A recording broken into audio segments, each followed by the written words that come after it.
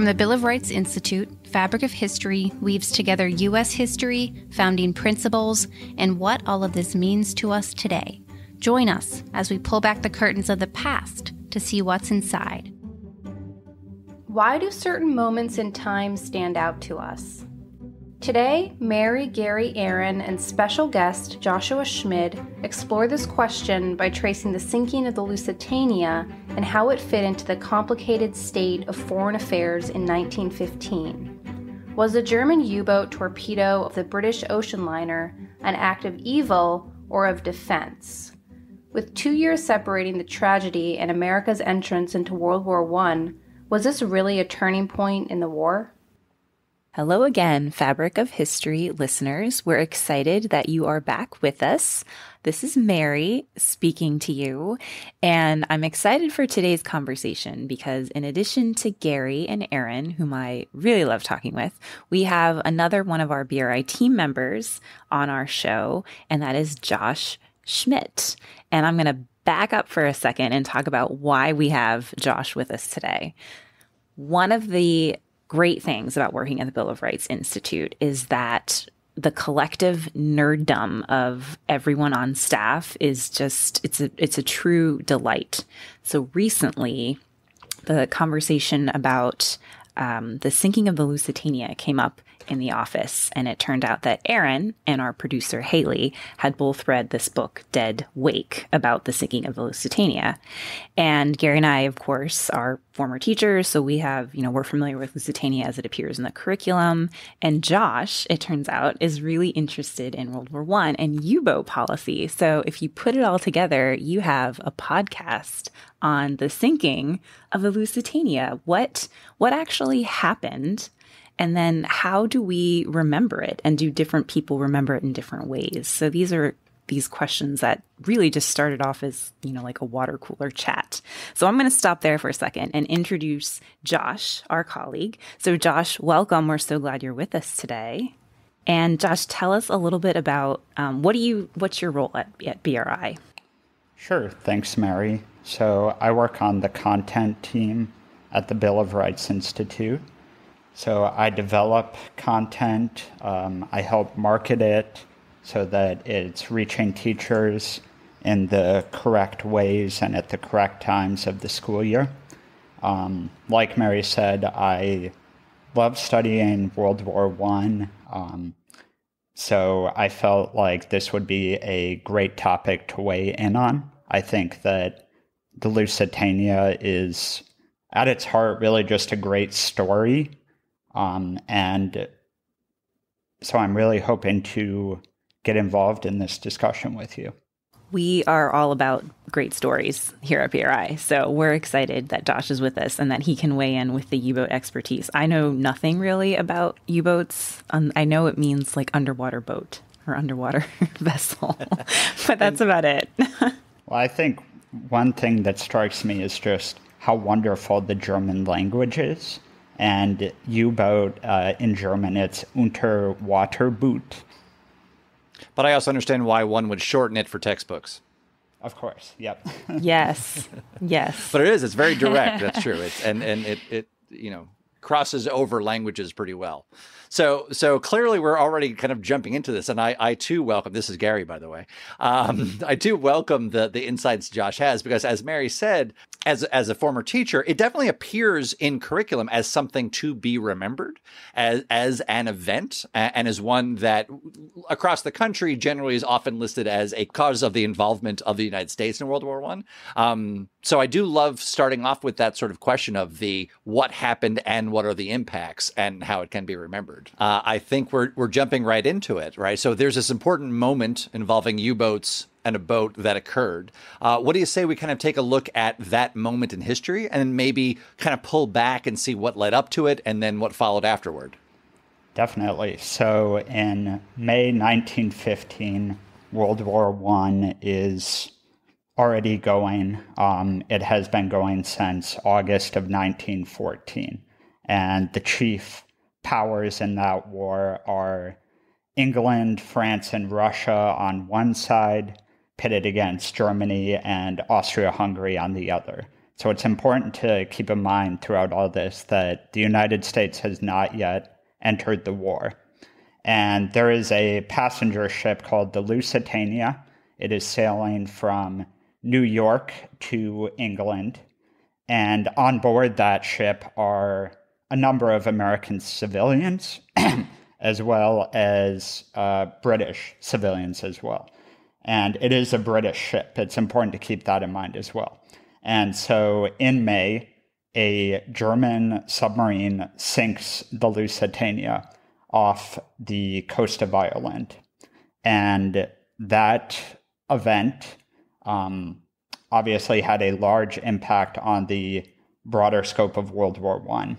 And so I think it's important, though, before we look into those impacts, we also take a step back, like you mentioned, Gary, and just set the scene.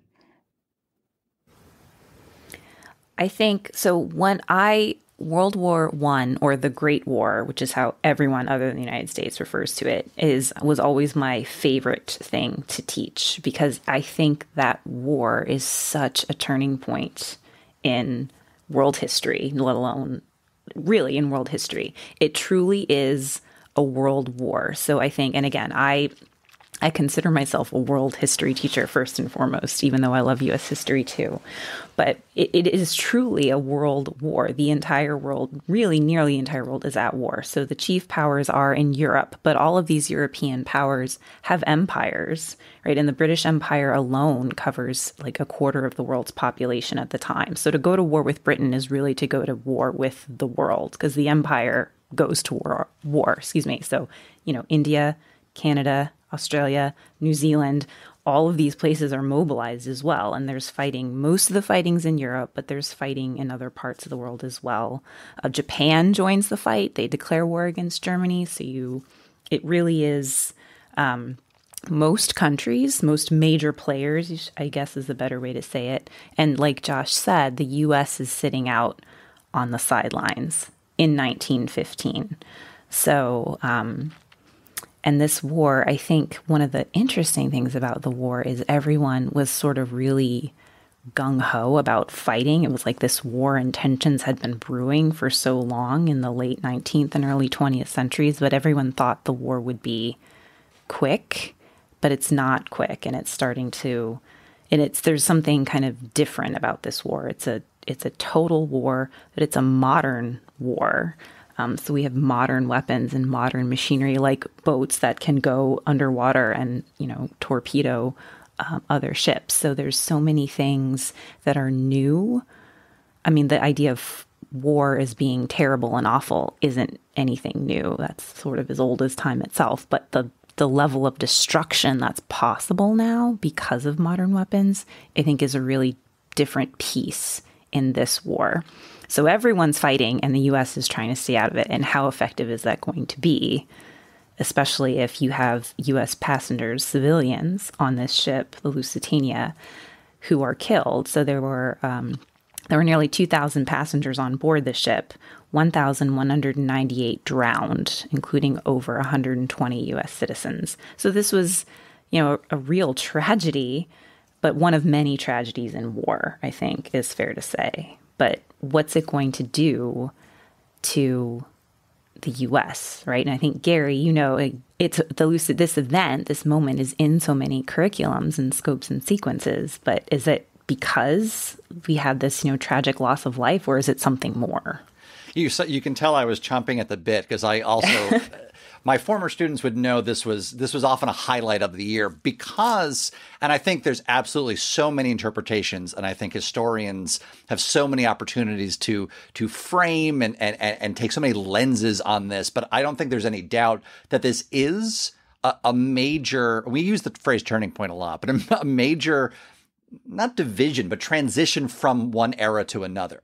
Because you're exactly right. I mean, World War One was always fascinating to me because it follows upon teaching about empires, kingdoms. I mean, the Ottoman Empire is still involved in this, right? This is a world of monarchs and a world of families and a world of uh, of warfare in a in a I don't want to use the word traditional sense, but in a sense that has been going on a while.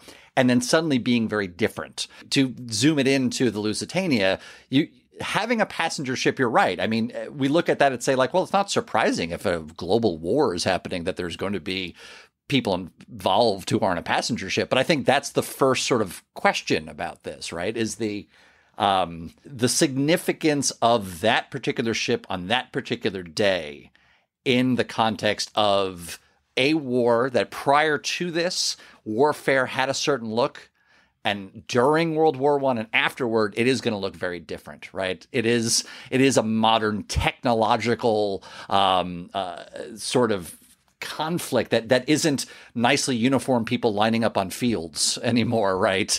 But rather this this approach. And and and that leads me to that question and and I'll, i i want to come back to the whole concept of world war one later on but it, it leads me to that question of how much of this was a surprise that this happened right? How much of this at the time was so significantly out of place or how much of this was part of the bigger story i think is an important question to ask. Yeah kind of piggybacking off of that gary it really did um, people said that the sinking of the Lusitania signaled the end of gentlemanly war practices of the 19th century, and that that sinking really precipitated a more ominous and vicious era of total warfare. But to your second point, was it really a surprise? Um, in when we were having this water cooler conversation, we were talking about how the German embassy actually put out um, a notice in U.S. and yeah, U.S. Um, newspapers about making sure that they said, "Hey, we're going to be." Uh, we're going to have U boats out in the water, and please be alerted if you enter this area, we may shoot at you.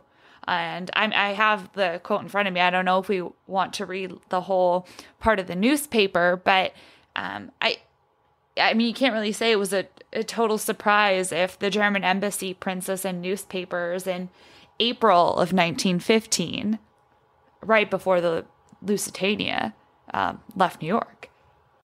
In the classroom when we taught it, there is this was a, a really good example of being the skill of being a historian, particularly as a student, and saying, you know, you have to put out of your mind what you know ends up happening. You can't take a look at the 21st century and and and you know reflect that back because there was no way to know what was going to be happening in 1915 how that was going to pan out what was going to happen afterwards so so that question of a surprise and the warnings and things like this I, again I, I, I would wager to say it's worth it's worth taking a look at the decisions that were being made by people by by these empires uh, and what what what people thought was going to happen and then what does end up happening. And and even though things seem very obvious looking back on it i always found it really interesting as students explored world war one to say like if imagining you don't know what's going to happen next some of the decisions do make sense and yet it really goes in directions that are so surprising to everybody based on what happens when you incorporate different weaponry that had not really been used before. Um, what happens when you know you, you, cross over or, or make decisions that had not been done before. Now, I think the Lusitania sits right in the middle of this in terms of, yeah, a warning might have happened, you know, but um, you know this this passenger going down there, there's some reason this significance just resonated and was just in the news. And and you know was was such a significant moment even at the time. I think we should take a quick break and then do our best to travel back to 1915 and pretend as gary said that we don't know what's going to happen next. Hey fabric of history listener. Learned anything new yet at BRI, we have a lot more to share. Check out our YouTube channel in the description where we explore U.S. history and civics with scholars and teachers. We update weekly and would love for you to join the conversation. And now, back to our show. Before the break, Gary was reminding us, not only as, as students, but I think as human beings, how difficult it is to drop the presentism and remember that we know what happens because we're sitting in the present day. But in 1915, they obviously didn't know what was going to happen. In 1915, the United States is not involved in the war, they're neutral.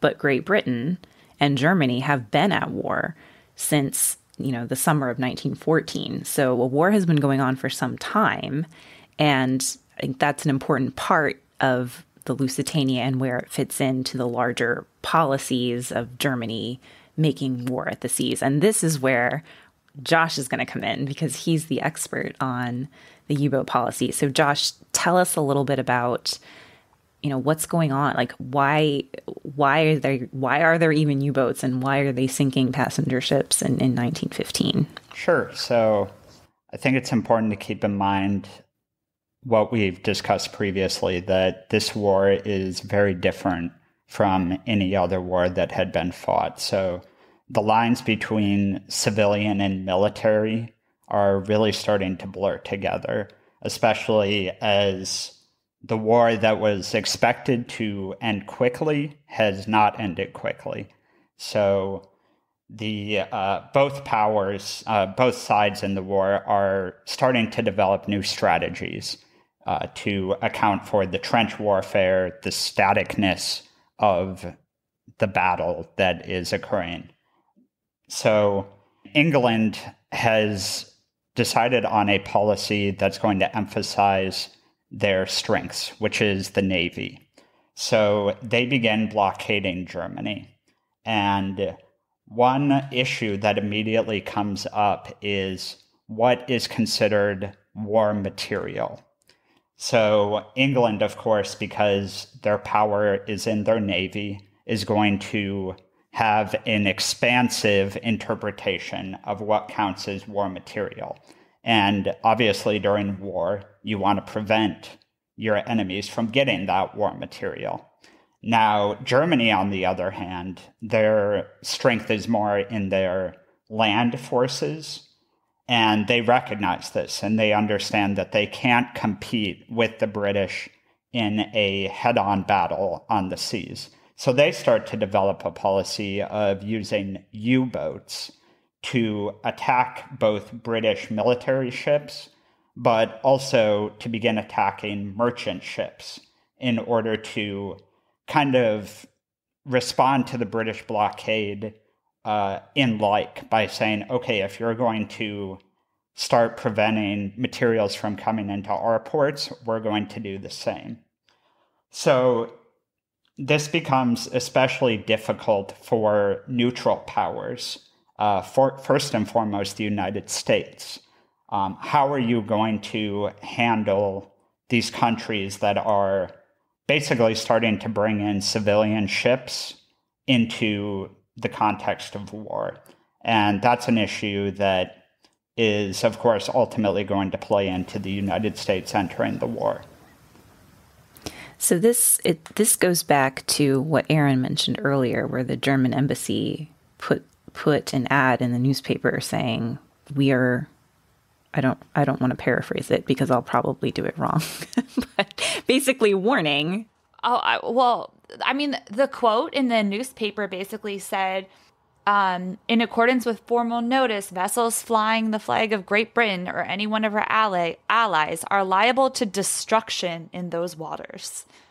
So they were warned. A lot of people did not take it seriously, like kind of what um, Gary was saying earlier about you know, it, we still didn't know what was going to happen. And even though there was this notice in the newspaper, only two passengers canceled um, their passage on the Lusitania because of the newspaper warnings. And there wasn't really um, much concern among the passengers. The, most of them joked about it. Um, Alfred Vanderbilt, who was on the ship, um, said, I don't take much stock in it myself. What would they gain by sinking the Lusitania? And they thought that the Lusitania's sheer size and speed would protect That's one them. Of the, the great tragedies of the entire situation because if you're a civilian on board a passenger ship, you would expect that you are not going to be attacked by uh, a different country, even if your country is at war with Germany you would expect at that time to generally be left alone. But the the circumstances from the German point of view dictated otherwise. So the lines really began to be blurred between military and civilian as a result of British naval policies. So they began to uh, transport war materials on board civilian ships, and Germany was aware of this. And they also began arming civilian ships. So traditional warfare on the seas followed what's called prize warfare um, or a prize naval policy, which is um, if you're going to want to attack an enemy merchant ship, you warn the enemy ship, allow the crew to get off, give them safe passage, food, whatever, and then you just sink the ship. So that obviously is not really feasible for a U boat. The Germans try following that. They surface the U boat. They warn the British, you know, merchant crew to get off. We're going to sink this ship. Um, that works sometimes, but then what ends up happening is Britain begins arming these merchant ships. So the U boat surfaces, says, you know, please get off. We're going to sink your ship. And the British say, you know, boom, no, we're going to sink you. Um, so the British are, or I'm sorry, the Germans are aware of this. And that in part placed uh, a role in why they began what's called unrestricted submarine warfare, which is sinking ships, especially merchant ships, I should say, without any warning. This is already, I feel, I, I, I both love and hate when this happens. It's when I've taught something many times and then I learn something new. like this warning in the newspaper that the Germans put out. I didn't know that existed. If I had known that existed, I definitely would have used that as a primary source in my classroom. But it complicates the narrative. Sorry, former students of Mrs. Patterson, I'm a fraud. Um, that this wasn't this blatantly evil act by the German. Like they warned people ahead of time. And it turns out, as Josh was saying, the Lusitania, which was a luxurious ocean liner, so it's a it's like a fancy ship, but it is carrying war materials on it. So, and we're at war, so Germany has warned people and they are being blockaded, so they don't want this ammunition, which we're assuming is coming from the United States because the Lusitania is sailing from New York to Liverpool and the US is supposed to be neutral and they sink them. So it's already it's it's complicating the story. Because I think a lot of times it's presented, especially in survey classes where you're going so quickly as this horrible deed that was committed by the evil Germans, but it's not that simple. Oh, Mary, I'm with you. I uh, listening to Josh. The lucid the British Admiralty required Lusitania's builders to install mounts to hold guns and was designed to battleship specifications. The the Lusitania was it was not armed. It had been outfitted when it was built in order to be converted okay. into a battleship should war begin. Um, okay. But once war began, the British realized that it was because it's this massive ocean liner and the British Admiralty realized that it really wouldn't work as a battleship. So it was not armed, but as you mentioned, it was discovered later that it was indeed carrying ammunition. So blatant war materials. Um, and the Germans, of course, used that as a defense for why they sunk the Lusitania bringing it back to the main question of you know how it can be remembered it's almost adding to that how it can be perceived so so so back to this idea of warnings um you know it it it, it is a war going on but there's also you know what that means for an individual getting on a boat and and and deciding yes i'm gonna i'm gonna make this journey. You, you, you don't expect to say that you don't expect anything to happen, I think, is is misleading, right? I mean, looking at a newspaper article from the time I, I, thought significant. There was one published by the New York Times uh, a few days after. This was on the 8th, only a couple days after it happened. Um, and it acknowledges in there that there was someone who worked, uh, there was a newspaperman, uh, someone who worked for the newspaper on the ship and, and acknowledged, you know, they were on the lookout for, for, um, for submarines, for U boats to happen and yet they were still going because you you, don't know if anything's going to happen or not. You it, what occurs um, isn't completely out of the blue, and I think part of what I was thinking of is this big question of how it should be remembered and how it should be perceived in terms of how the story is told. Because the more details that are coming out as you were saying mary the more kind of depth happens to the story. Um, but the perception of the time isn't I think it can it can it can go two ways. The question of is the Lusitania a passenger ship minding its own business who out of the blue is blown up by this aggressor or is it one of a boat, many boats involved in a global war that goes down? And even at the time, there's this shock of why did it explode so much from a couple of torpedoes? And time eventually tells, well, munitions will do that. And there's more to the story. And so I think already there's a bifurcation in the perception at the time of what ended up happening. So, as I am wont to do, lobbing questions into these discussions, I think it's time to take a break and consider how we perceive this event.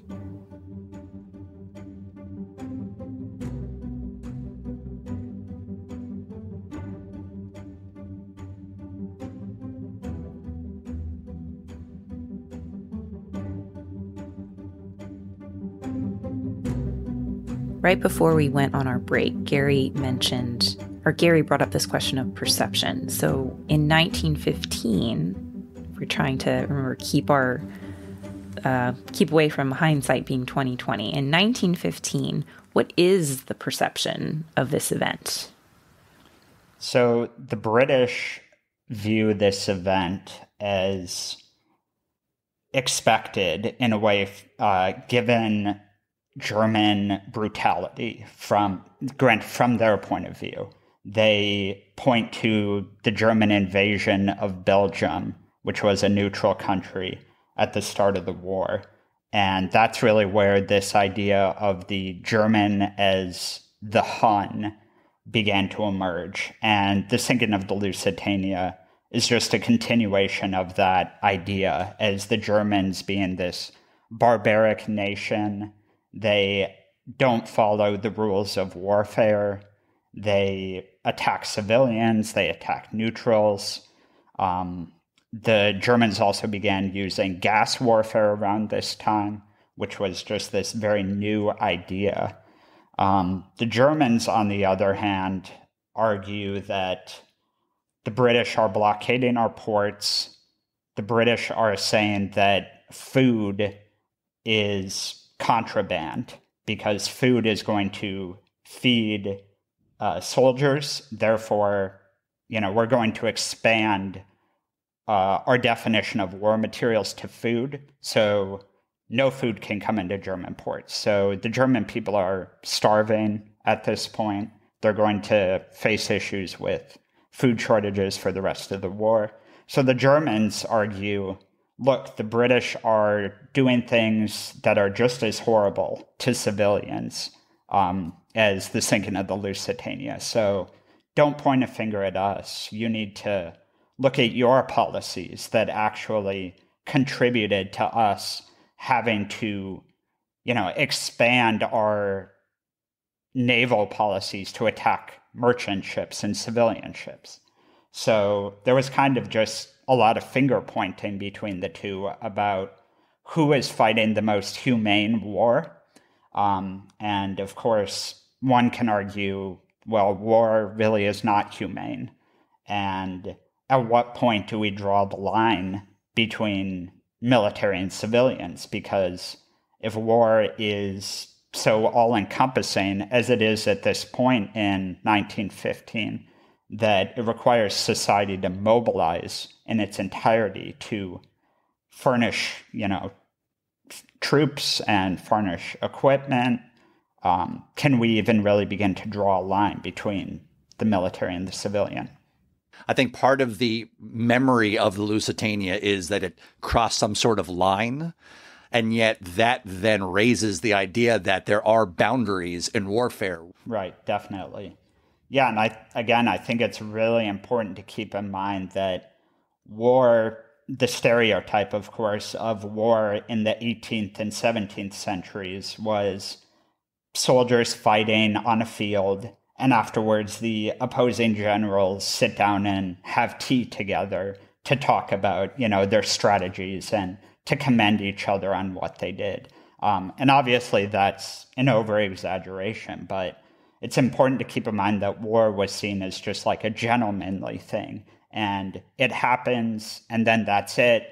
Um, we go back to normal life but of course world war one really starts to shift that boundary to this war is happening and there's really not an end in sight and therefore we need to throw our entire society's weight behind the war effort to win it I think a lot of what you're talking about, Josh, is again to remember that this was Eurocentric war. The the world is involved, but it really it originates in Europe. The it's Europe that has been embroiled in this conflict for over a year now. And so the US, who is neutral, although we could argue how neutral were they, really, but to sort of the ordinary citizen who's getting on this ship, the Lusitania, or reading about the sinking of the Lusitania after it happens. It's like, what the heck? We're we're not involved in this fight, and our people died. I think it's especially shocking to the United States, who's sort of steeped in this idea of isolationism. We're staying over here in the Western Hemisphere, and this isn't our issue. And I think that fact um, this idea that it was seen as like a sucker punch shock plays into why it's so memorable and why it, it, you know it's listed as one of the causes that brings the United States into the war, even though we don't join the war until two two years later. Definitely, the U.S. has had a history of being abused by European powers when it comes to naval policies. Um, you can talk about like the War of 1812 and how the British would impress US sailors into the British Navy, for example. So the US knows that it's going to be very difficult to not get involved somehow whenever Europe goes into war, um, especially when it comes to navies. So they try as best they can. And like you said, um, you know, how neutral were they really? Um, but they, they at least outwardly claim to try to follow this policy of neutrality, which is as long as we're not sending military equipment or guns, soldiers, whatever, to any of these countries, we should be able to trade freely with both the the British and the French, as well as the the Germans. And of course, that policy immediately becomes problematic with the British blockading the German ports and the Germans sinking merchant ships. So, of course, the, the sinking of the Lusitania is different from that because there are American civilians on board.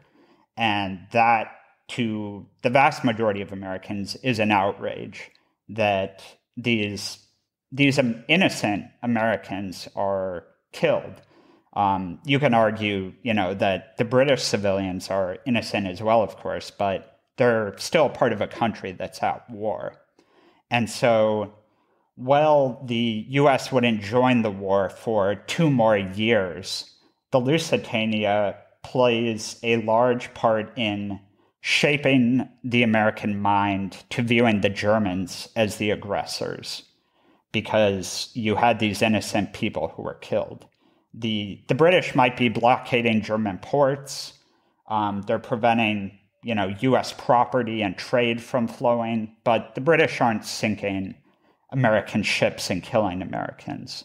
So that's why I think the Lusitania really stands out in the Americans' minds at the time as an atrocity. Do you all think it's a powerful image um, from what you're talking about? And, and sometimes when we talk about history uh, uh, uh here around the office, as we say, there are times that it, it's almost needed to to put an image, to put a moment, to put to put an event to a complex thing. World War One, as it's taught and as it's studied, I think, is full of so many complexities. Right? There are as, there are families that go back, and empires, and geopolitics, and alliances that happen, and and and all of these decisions that happen, and and among them is the concept of involving civilians. But even that's a complicated thing.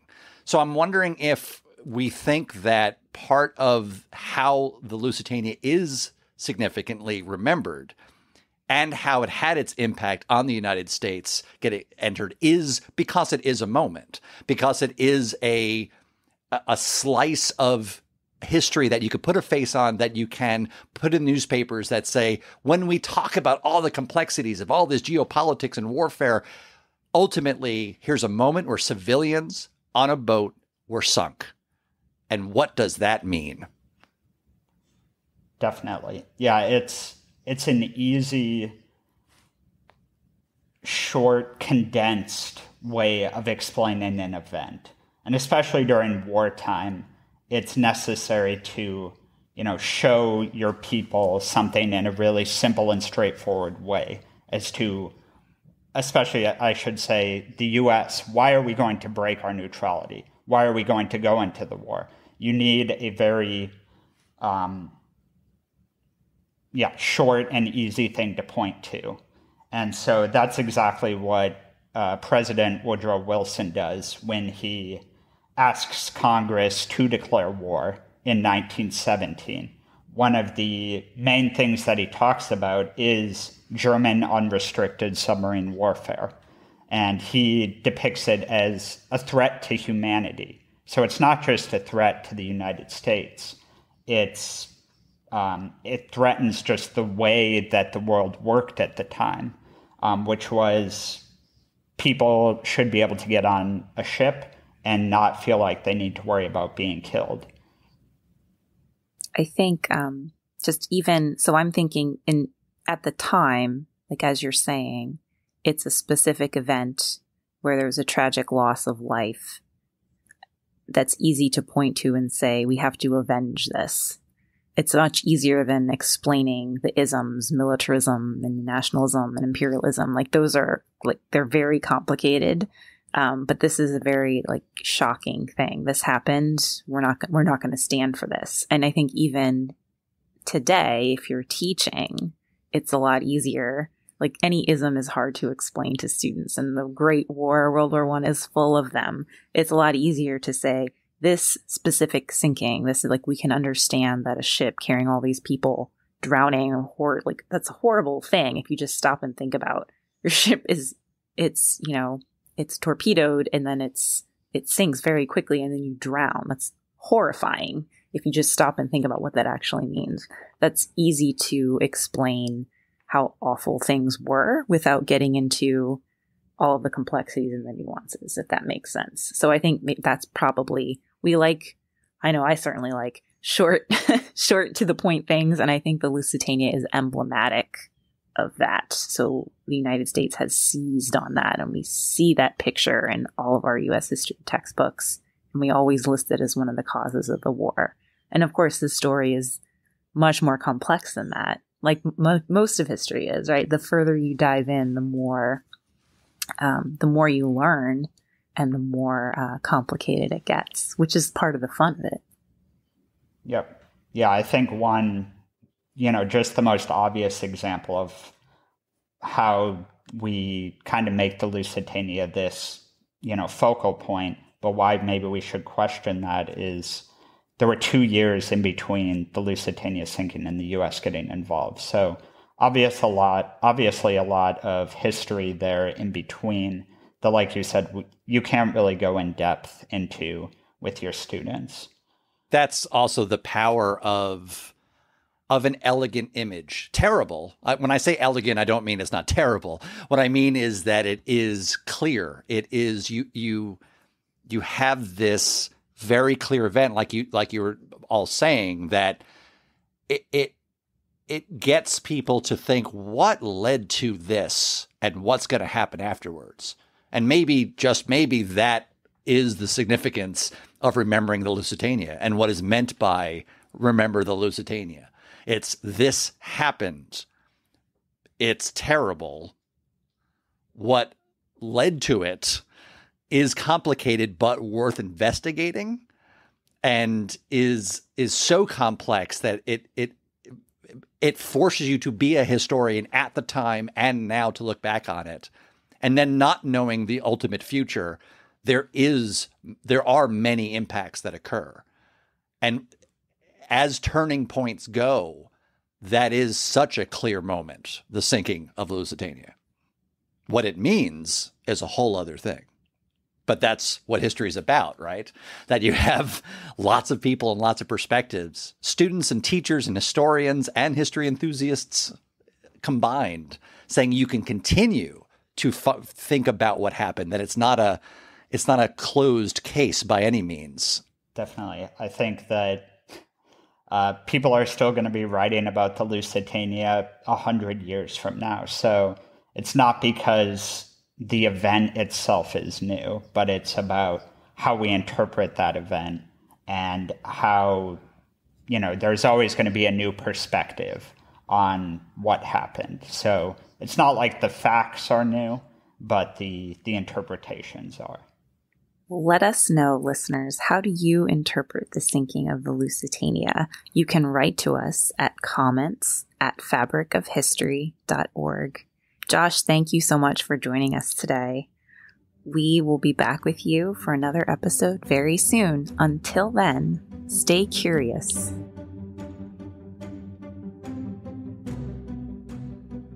The Bill of Rights Institute engages, educates, and empowers individuals with a passion for the freedom and opportunity that exists in a free society. Check out our educational resources and programs on our website, mybri.org.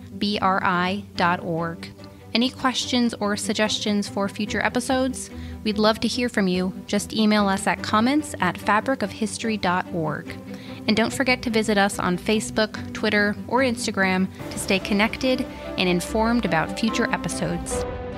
Thank you for listening.